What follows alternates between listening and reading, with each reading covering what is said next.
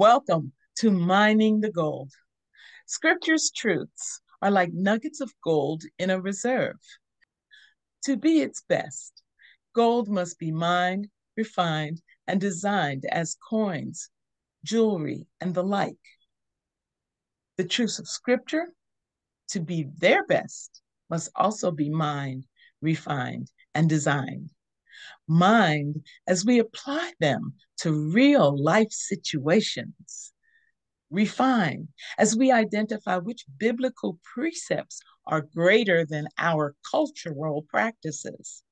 And designed for us as family members, neighbors, members of society at large, while we're forging the relationship we get to enjoy with our God. I'm Denise Watts, author of Mining the Gold, and today's teaching host. And I'm Pam Cradic, and I'm co hosting with Denise today. Pam, thank you so much for all you have invested into these past. This is the fourth session with you, and just touching an, an unorthodox subject, applying the Word of God to it, and hopefully encouraging and challenging our viewers to apply God's Word to their lives as citizens of this country, especially, but whatever country they happen to live in. And to those of you who are watching, thank you for giving us this time as we look together in God's Word and its application to our lives. Today's lesson comes from chapter 4, the Holy Spirit. This is topic 10. It tells us that the Holy Spirit bears fruit in believers. Our scripture reference is Galatians 5 22 to 23. Today we're looking in the New American Standard Bible for our text. It tells us, but the fruit of the Spirit is love, joy, peace, patience, kindness, goodness, faithfulness, gentleness, self control. Against such things there is no law. On my first visit to Florida, I marveled at the orange trees that were everywhere in the subdivision where my aunt lived. Then I learned that not all the trees I was seeing were orange trees. Some were lemon trees, some were grapefruit trees. Without their flowers or fruit, they all looked alike to these novice eyes. Seeing those trees gave me greater appreciation for the saying, You will know the tree by the fruit it bears. The tree is identified by its fruit it bears only the fruit that belongs there. Apples don't grow on pear trees. Bananas don't grow on lemon trees. The tree bears the fruit that matches what it is. When Paul tells the church at Galatia what the fruit of the Spirit is, he is giving the Christ follower some strong teachings. One, as with any fruit bearing tree, there is one fruit of the Spirit love. Look at the forms of the words. The fruit is, not the fruits are. The Holy Spirit bears the fruit of love in the Christ follower. The fruit of love is multidimensional. Love manifests as joy, peace, patience, kindness, goodness, faithfulness, gentleness, and self control every Christ follower is to bear the fruit of love in all of its dimensions. The fruit is produced in the Christ follower, not by the Christ follower. I do not have to make myself loving. You do not need to force love to be there if you are a Christ follower. The Holy Spirit within you is producing love. It may take a while for the fruit to appear. Although even young trees will bear some fruit. A tree must be healthy in order to bear its fruit. It needs to be in the proper soil and properly nourished. In the case of a Christ follower, the proper soil is a heart fully surrendered to Christ. The proper nourishment is the Word of God. That is the combination that fosters a healthy Christ follower. Without the fruit, there is no spirit. Your fruit tells it all. And that is today's mining of the gold in God's word. So, Denise, it has my favorite word in there. Which one? Joy. This is there joy. You go. Yes. But the fruit of the spirit, oh, so the outcome, right? That which is produced, the fruit, like the fruit of your labors, the fruit of all, the fruit of the spirit is love, joy, peace, patience. This is an amazing verse. Kindness, goodness, faithfulness, gentleness, self control.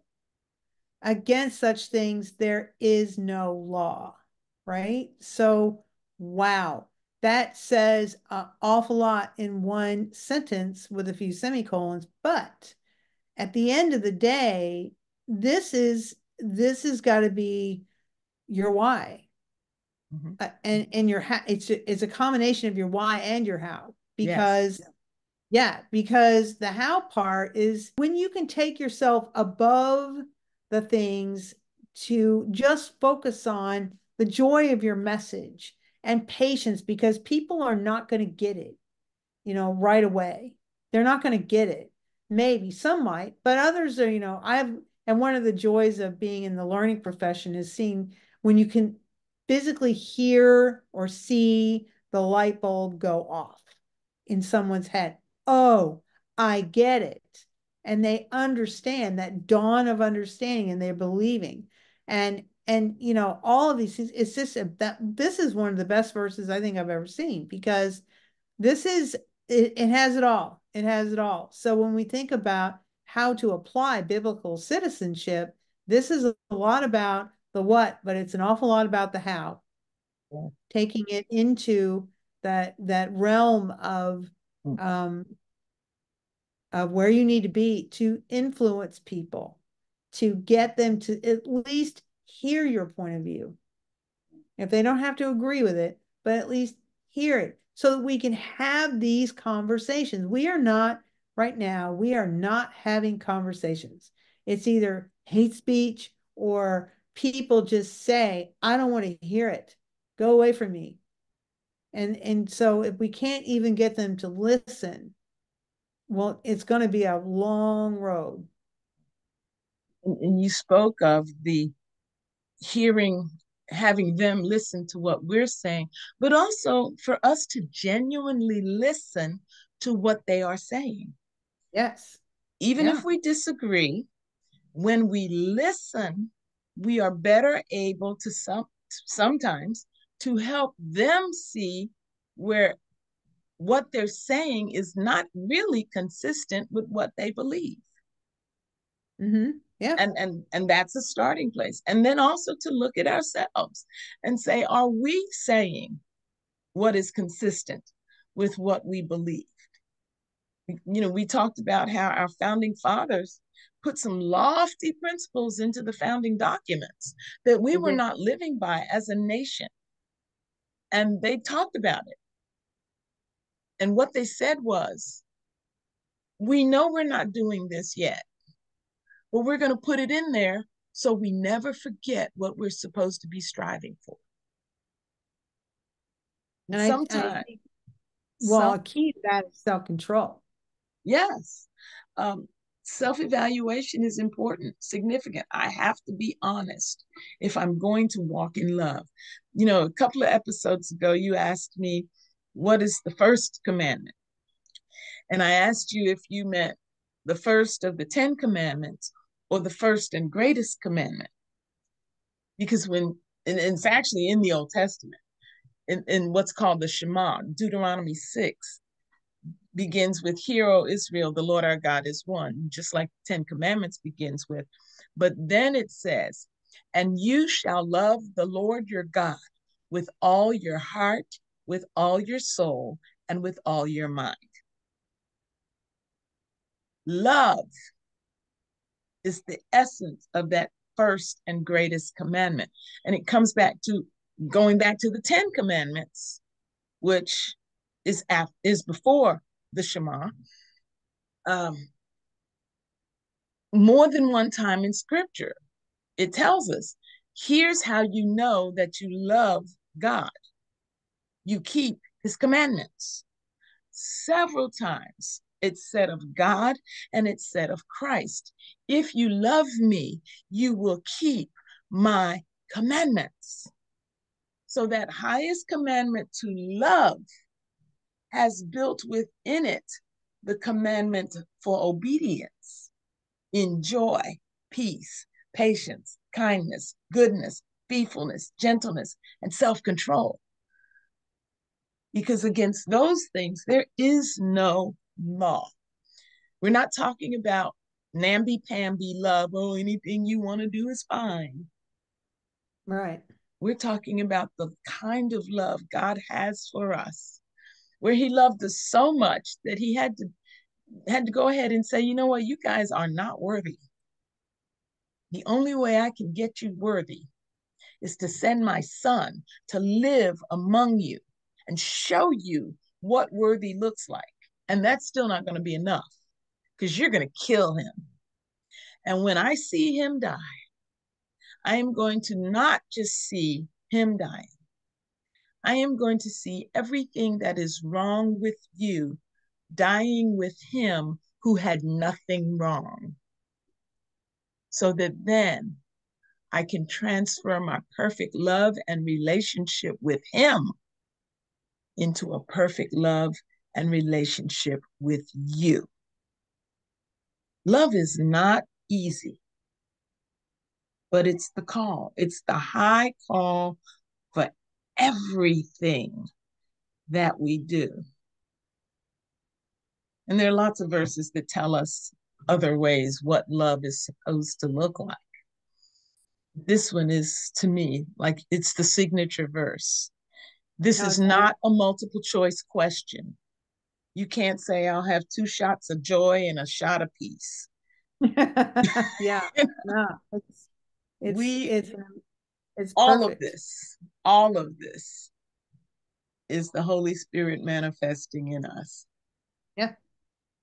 Yeah. This this is one way of mining the gold, but it is such a perfect send off to where we're going to go in the second way that we're mining gold with you, Pam. See, we're mining the gold of creativity that God places within each one of us. That if we apply this love to what he has given us as gifts and talents and interests and abilities, we will make this world a better and more beautiful place to live for somebody. Yeah. And so today, what were you going to say?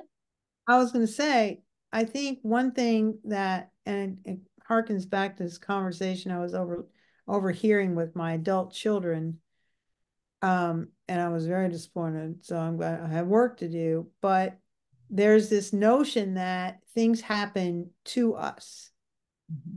and that's okay just you know you don't have an active role i don't know anywhere in the bible old testament or new where it's about something's happening to you you have an active role to play yeah. and you and and like be the fruit of the but the fruit of the spirit is love joy peace patience kindness goodness faithfulness gentleness. These are actions mm-hmm. that you take um, and it's from the spirit. It's the spirit in you and the fruit of that spirit is you love you have joy and you share your joy. You make peace. You have patience. You are kind. You are you know and these are just these are actions that you take and so when you when you look at your role in the community these are actions that you take one way or another i mean it doesn't have to be um you know you don't have to be the county judge executive you can be that person at the at the meetings that just says, "Excuse me, I have a question. Can you help me understand something?" And because they, you know that's another little adage uh, from my learning background is, you know, inevitably in a lecture series, people sit there and they don't say anything, but they have questions. And then when you get to as soon as the class goes on break, they they get with somebody that hey did you hear did you understand what they're saying and you know so it has to be you have to have that conversation with somebody else so be that person that sparks the question in the conversation because you ask a question. And i that's where i see things like patience um, and and self-control. So you know you don't need to stand on stand up in the town square and scream at people. That's not having self control. Self control is holding yourself in a way that you can ask a question to get somebody to think. Hmm, I never thought about it like that. To look at something from someone else's point of view. So exactly. And as we turn this over fully to you, Pam, we want you to share with us again a little bit on the edge, but how do I, as a as a Christ follower, mm-hmm. you know, one who has been told for a long, long time that if I just pray, God will fix it. Mm, yeah, which but is not Lord biblical. Help themselves. so well, that's I, not I, biblical either. But no, but I mean, you're saying but, it's a good. But as as as people who've been told that, what do we need to be doing how do we exercise this fruit of the spirit of love as we engage a political system that is partisan, that has an election process, and that is open to all of its citizens. So I'm pleased to introduce to you now Pam Cradic, a biblical citizen. Thank you, Denise. Um, and it's an honor to be a biblical citizen because um, it's earned. You earn that because you have to, you know, it's it's it's not a passive thing. Biblical citizenship. You don't just get anointed with biblical citizenship. You know, you have to be involved. So if you look at our our mantra of educate, empower, engage, Okay, we talked about education, we've talked about empowerment. Now we need to talk about engagement, right? And that too is on a spectrum. You don't have to run for office. You can support others who do, or you can just simply be vigilant. Watch watch out for things. You know, use your own strengths. A good friend of mine is a lawyer and she loves to nitpick and pick things, you know, and like look at the law and pick at it and she can call it out so if, if you see um, as you're you know looking at legislation or you're interacting with folks who are looking at legislation um, you know if you're paying attention and they posted a bill that they want to pass in your legislation in your legislature what's in there? What's in that bill? You know we've all heard the nancy pelosi you have to pass it so you know what's in it. That's insane. You really need to get in there and nitpick. So if you're not that nitpicky person, find some find that person establish a relationship with that person who is that nitpicky person that can explain it to you. And so that's one of the reasons why our partisan liber- uh, ladies club is a good uh, vehicle for that.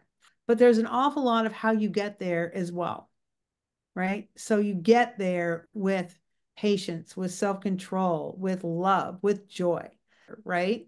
So it's the same thing about um, you know if you bring your joy into these conversations and and all of those things the patience the spirit you just bring the spirit. That's why i look at the spirit as more of a a fabric that flows that your it's your whole life. It's just your whole life. So that's that's where i see that joy connecting into and the spirit connecting into what you do with that. But it has to be you doing it. It can't be, oh, well, I'm going to complain, complain, complain, complain. This happened. It's happening to me. This happens. It's God's fault. And this whole notion of, I blame God for things. How could God let this happen? That, you know, I'm just like, I know that's another Orange topic we would have for another day, but if that's you you just you have to take an active role that's what the spirit is all about having the spirit flow through you is taking an active role and that means and no it doesn't mean you have to run for office it can mean something simple like read the bill if there's if you know or go to a go to a a, a nonpartisan meeting go to a school board meeting and and listen to them debate about whether or not they should raise your taxes. So we're go. looking at because our country is partisan. Yeah, we are very partisan. And I've heard people say it doesn't matter which party you with, they're they're all crooks. Yeah, maybe so. You know, we paint with these broad brushes. Yep.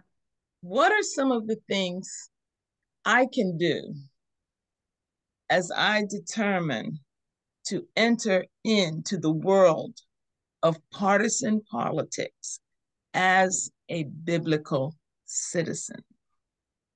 How can I, how, how do I start to make my decisions? Well, guess what wasn't partisan, right? The Declaration of Independence was not partisan. In right. fact, George Washington warned us against partisan politics. Mm-hmm. He said they could be the end of us and he, he guided us away from that. Of course, we didn't listen. We're a partisan country. Right. That's a stray away. Uh, you, you wisely mentioned that. That's a stray away from what the founding fathers really wanted us to see, not a loyalty to a party above all else, right? But a loyalty to the biblical principles contained in our founding documents above all else. So we have strayed, but we are now a partisan government. How do I know? I mean, do I just stay on the side and continue to operate without being a part of any party? Or how can I tell which party I want to support, I want to be a part of, what do I do if I'm part of a party that doesn't have any genuine political clout? I mean, they're the two big parties. And then there are the other parties, who are many, who don't operate in structure like the two big parties. Right. And so it's often difficult. How do how do I know what a party believes? How do I know what a party why they're there? How do I get into this thing and make some decisions on my starting place as I am becoming active as a citizen in a mm-hmm. partisan country? So so our and we'll assume that you are a biblical you have a biblical worldview. Right. Okay. So one of the things that I know for for sure the that both parties have is they have platforms, right? And they call them planks in their platforms.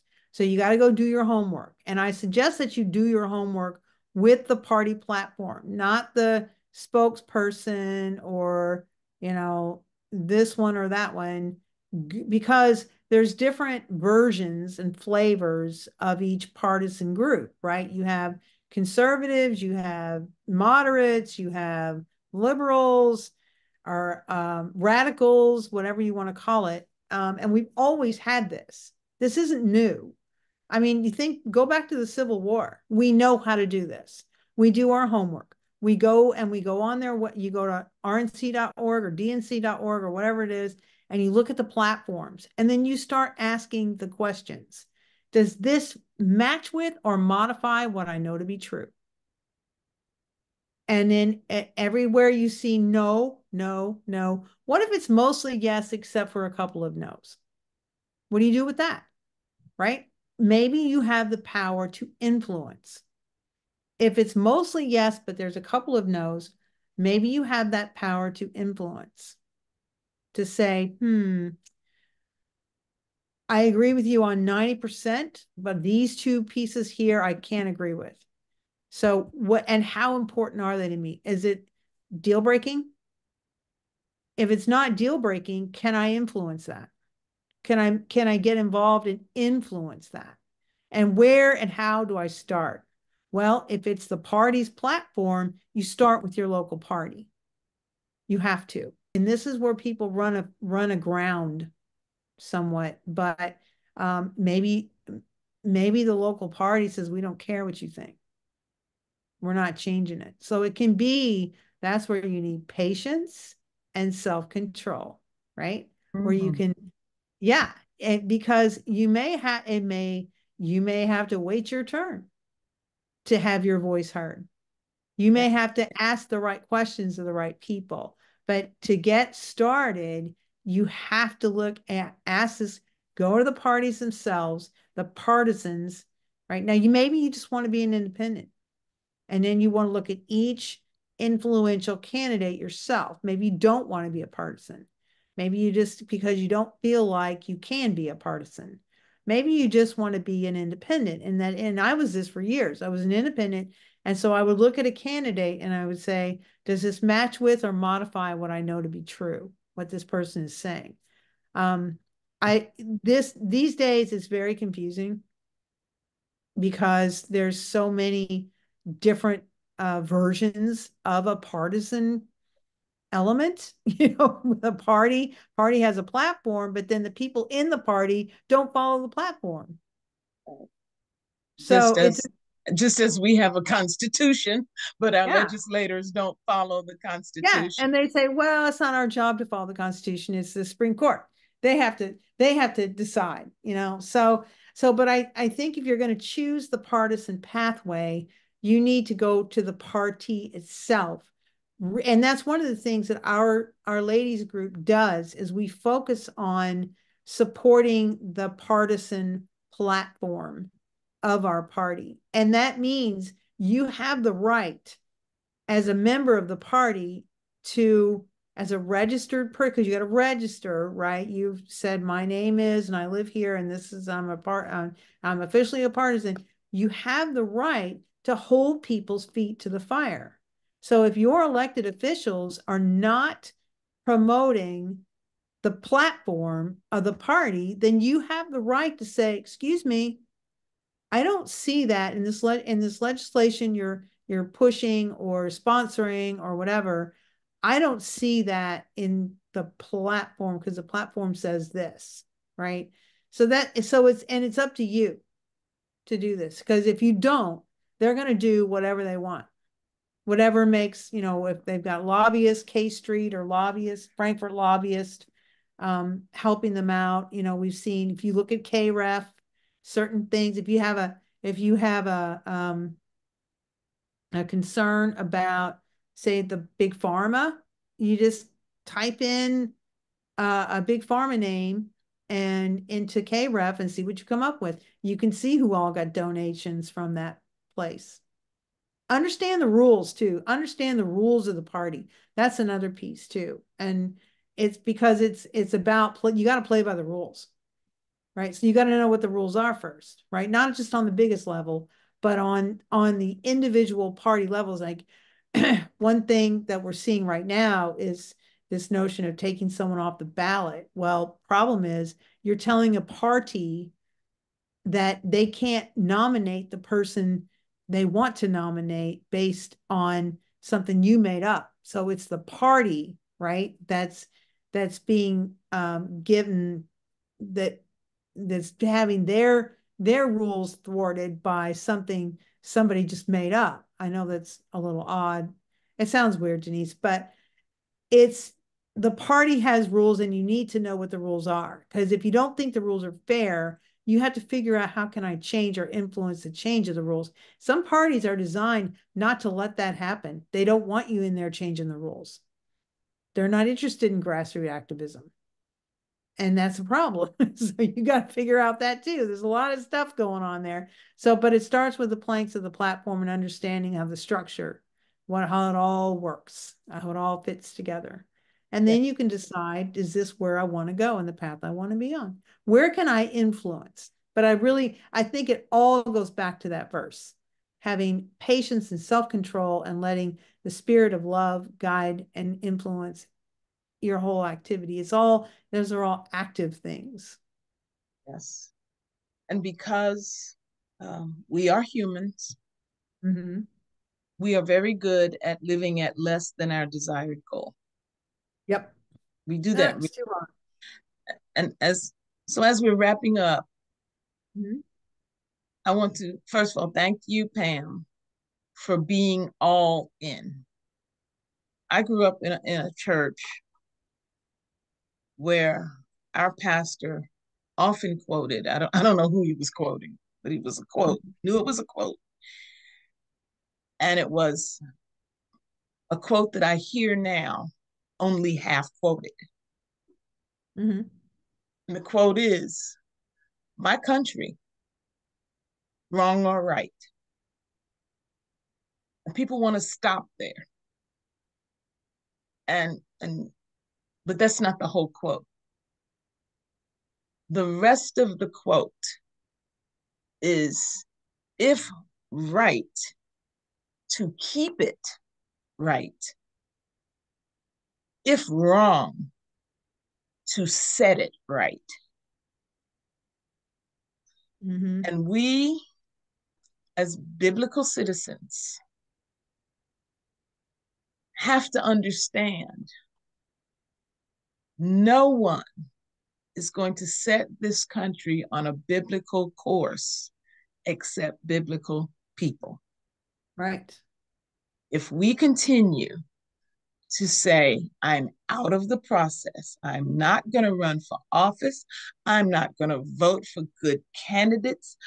I'm just going to sit on the sidelines and pray.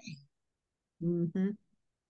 And every Bible believing American is sitting on the sidelines and praying. Where are we going to get the Bible believing candidates?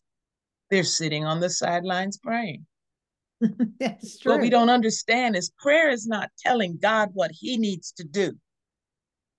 Prayer is going to God for your marching orders for today. And if we are truly praying, we are asking God, what must I do to be the salt and light in this dark and tasteless political environment in which I find myself? That's what praying is about. It's not God fix it. Mm-hmm. It's what must I do to be a part of the solution. And then right. as we step in, let's go back and read our declaration, read our Magna Carta, read the Magna Carta, it wasn't really ours, read the Magna Carta, one of the first government documents for this land. Read mm-hmm. the Declaration of Independence. Read the Constitution, including the Bill of Rights. Read what read the journals that tell you what the founding fathers were thinking when they proposed the Constitution and the Bill of Rights and even the Declaration. Go back and find out what was the premise and then do the same thing for the platforms of our political parties. I don't know how many parties have platforms. I know the big two do. I know the big two do, but I don't know if anybody else does. I've honestly I, never. You know, I think I, I think some of them do. I think a lot. I would imagine do. that they do. And so let's find, see, here I've got homework for me too. Let's go out and read those platforms. Mm-hmm. Let's find out which one comes right back to the biblical foundation on which this country was laid. And how far have they strayed? And then when I choose to get involved, I choose hopefully, to get involved with the one that has strayed the least. yeah. yeah. And has the most opportunity to effect change. See, and I think if you, if, if you want to stay positive, if you don't want to, you know, get disappointed, I think if you you think about the pebble in the pond, right? Mm-hmm. If, for example, here in our county, it's primarily one party and that can be difficult because if you're not in that party you don't get it you don't get to there's no opposition it's just that party and so after the primaries it's all over with but if you're going to be able to influence thinking to your to what you believe is to be is true you may need to start that small rather than trying to boil the ocean. You may need to start with my magistrate is a registered is registered in this one particular party and i agree with the platform of that party but i don't see this person espousing that. Exactly. so i'm going to call this person up and say hey do you have time to have some coffee let's go to coffee i'll buy you a cup of coffee but i want to understand why blah blah blah blah blah and before you know it that that can take form and shape and that can influence not just that person, but it gives that person because if everybody stays silent, how are how are our elected officials supposed to know what to do? Exactly. How are they supposed to know? They just get they get no feedback and they're like, oh, I mean, we we did this town hall, but it should have been a packed house with 100, you know, we have 65,000 people in our county and we had 25 or 30 in that town hall. Mm-hmm. Why? You know, we should have had a lot of people in the town hall. So, and so it, it is. We have all straight. Forget it. There's no perfect anything politically. Mm-hmm. The documents, though, are pretty good. Yeah. Oh, yeah. And they're not partisan either. They yes, are, because, they are not partisan. Because where they go back to? They go back to a belief. Yes. And our, and our biblical worldview. That's where that's the that's where they come from. Yes. And so well, yeah. Do we do we even know why we established a constitution for the United States of America? It's it starts with we the people.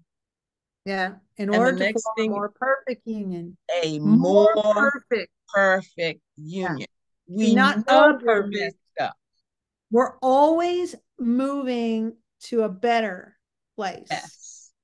And we write this constitution to help us understand what that can look like. Yeah. Yeah. And that concept again, and we then we have to take it back. And the Constitution is built on what the biblical principles are. Right. But the fact that it says more perfect is a mm-hmm. key mm-hmm. because it doesn't say it is perfect. No. A more perfect. Yeah. So we are always striving for more perfect. So this notion that, like, say, some of the founders, they, they didn't abolish slavery in the Constitution uh, originally because right. they were saying more perfect. We got there. It took a hundred years, but we got there. Yes. And we will continue to get there. Yes. And again, you, you have to keep looking at the framework because when that Constitution was written, there was not a single country in the world that believed in the nope. end of slavery. Nope, not one. And we dared to put in writing that all men are created equal and endowed by their creator with certain inalienable rights, including life, liberty, and the pursuit of happiness. We dared to put that in writing, even when we ourselves were not living by it. Right at the time, but they, but we right. it's a it's what is it Martin Luther King used to call it? That was our promissory note. Yes. That was the promissory note. And a more perfect union that means I have the right to collect on that promise. You have the right yes. to collect on that promise. Yes. And collecting on that promise is what I do when I go to a magistrate meeting yes. and I talk to the sixth district magistrate about something that's on my mind or a school board meeting when I want to understand what they're going to do and and in everything they do right so that this is where that applies this is where that connects I don't need to be president of the United States. I'm all good being Pam Cradic here in LaGrange, biblical citizen, active, you know, taking an active role in my partisan politics of choice because I can. Yeah. And and because it most closely fits my biblical worldview. Yes. And I want to encourage those who are watching, if you're interested in this, you want to learn some more about this, there are several good sources. There are probably multiple good sources, but mm-hmm. I have mm-hmm. found a few that I tag on to so far. Um, one is the, the course is offered by Hillsdale College. I was going to mention that. They are fantastic. Yes. Yeah. And they have a free course on the Constitution. Uh, yes, they do. A lot of their stuff is free. They have, they yes. do offer free online courses that you can take. They're completely self-study. So you all I, all you what you do need to do though is commit yourself to completing it. Yeah. Start it and complete it. Always. So yeah, you got to yeah. just once you start it, you got to finish it. Now, and those are kind of solo. You said they're self-study. There's not going to be a group around you. You can no, but you can pull a group together and oh just, yeah, and, right. But I'm but I'm just saying they are designed. Right. right. Now the next step is to get involved with group study. Mm-hmm. First, bring a group into Hillsdale mm-hmm. College Studies, and that's a great Maybe way to get you involved. Your family do it with you yes. and your family. Yes. And the second course along the same lines is the Patriot Academy, patriotacademy.org happy place. And they are set up to put you into a group. Yep. So if if you're kind of, oh, I want to look into this, but I don't want my family to know, you know, or you're not. I mean, let's be real. This is a brave. giant. You gotta be brave. Forward. Well, this is a giant step forward, and before you can yeah. be brave, sometimes you have to know why you should be brave.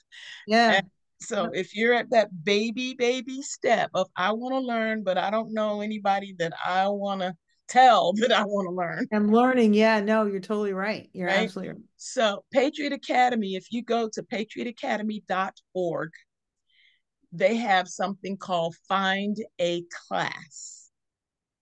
And you can look by the state you live in, and they will tell you who is offering classes on biblical citizenship and constitutional life. There's also constitutional defense. Um, but those classes, if they're not in your community, many of them are also offered as Zoom classes. And they will allow you to not only study with other people, study with people from around the country. Mm-hmm who are still asking the same question you are how do I get involved?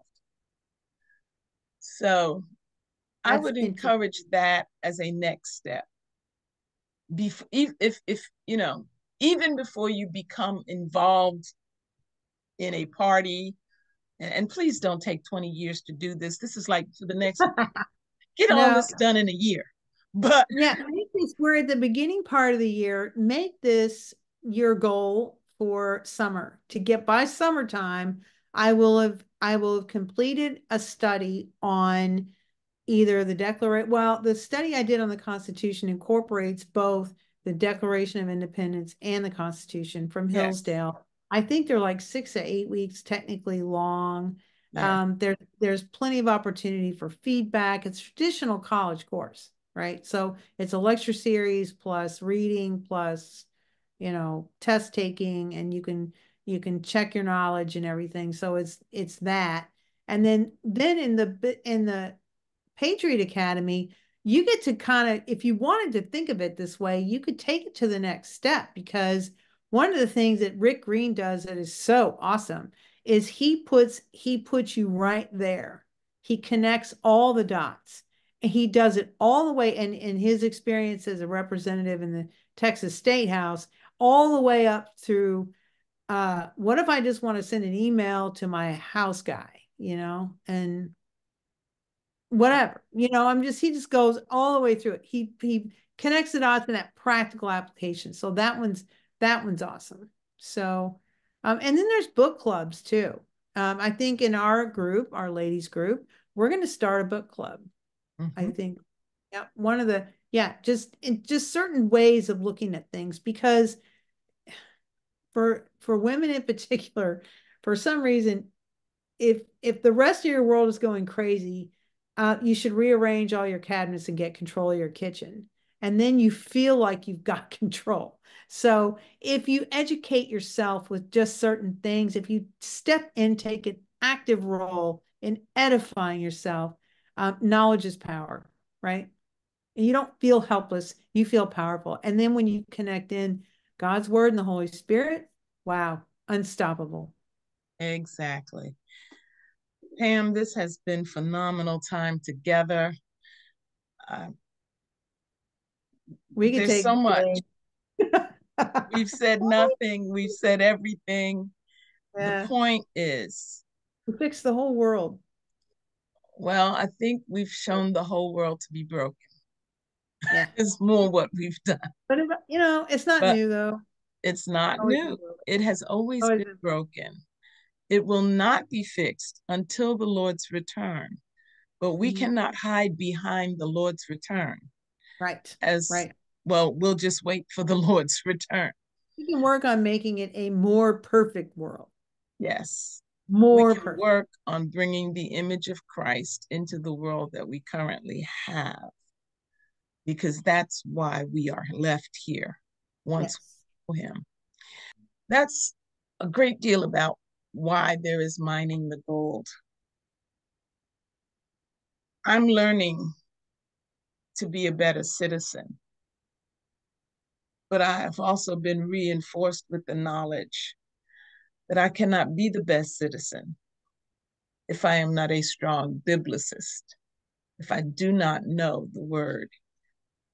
And the Mining the Gold podcast, which are going to take you through 190 plus points of scripture that show us what it means to be a follower of Christ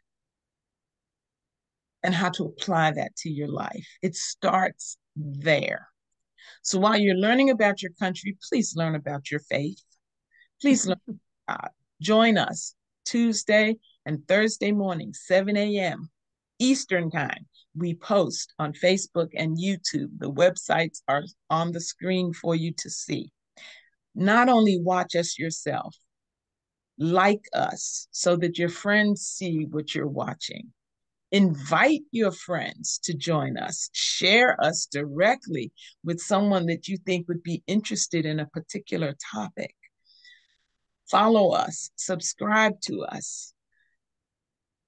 But mining the gold is more than Facebook, and YouTube. It's a book. It's a book with all of these readings in one spot that will take you systematically through your walk with Christ. And it has a sister book called Nuggets of Gold, which takes the same 190 plus topics and asks pointed questions about what you are doing with this gold that God has placed in your hands not to condemn, but to inspire and encourage. Power of our relationship could be a chapter in mining the gold. It's about relationships, the very various relationships that we have as human beings. And how scripture speaks to them and some ways we might be implementing those in our lives as we think outside the box of what society says should be going on and begin to look at possibilities that God has posed for us in our relationships. They can all be purchased. You can scan that QR code, it will take you straight to the page that's cited here bit.ly slash Denise Books. You can also go to Amazon.com and find these books. And if you just have some thoughts and want to bounce some of this off the author, if you will, there's my email address, dwattswilson at gmail.com. I do read and answer my emails. It might take a day, but I do that. Um, let's make a movement out of mining the gold as we are mm-hmm. on our way to becoming biblical citizens of a country whose foundation is the Word of God. You can take a screen. you say, "There's your copy." I got my copy. Yes, I got a copy of this one too. All right, you've got the nuggets and the mining. I do. Um, I, I'm grateful for both of them. If you'll screenshot this page, you will have all of this information permanently at your disposal, especially the contact information for today's co-host. And that has been Pam Cradic, PH Cradic at iCloud.com. The website for the partisan group that she has helped organize and is leading is www.libertyladiesclub.com. Again, we are not here to tell you you need to be what we are, except that you need to engage the political process in the country in which you live, especially if it's the United States of America, with a biblical worldview, which is the worldview of those who established this country. That's all this is about. But Pam, thank you for being the one to step out in front of the firing line and dare to talk about this topic in public. Well, thank you, Denise. This is you're amazing. You you really are. And you just you you don't meet too many people that just say, I think I'll write a book. Okay, I, think I'll write another one. Maybe I'll write a third one. so that's you. So you're an awesome inspiration. Well, thank you. But I'm, as I like to say, I'm an ordinary child of an extraordinary father. There and you go. Every one of us are. We are. True. That's tap true. in. I, I, I salute my grandson who tapped into the music that God has given him and has produced the music that surrounds our broadcast each day. And I salute Roy Dominique, the literary agent who uses the skills and resources at his disposal to take something that I never had any idea could go beyond the trunk of my car and has is getting it in front of a standard publishing house who wants to put it in front of the world. That continues to blow my mind. But that's them using their gifts to support me using my gifts. And I hope you will jump in there and find your gift to give mm-hmm. the world while you are daily mining the gold in God's word. Thank you so much.